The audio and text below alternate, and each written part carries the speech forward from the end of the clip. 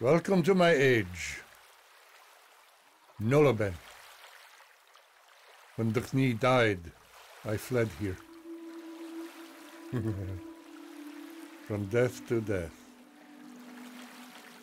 You will see the fingerprints of the creatures everywhere.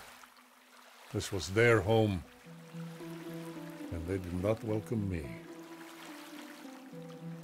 To survive, I was forced to learn. You will learn here as well.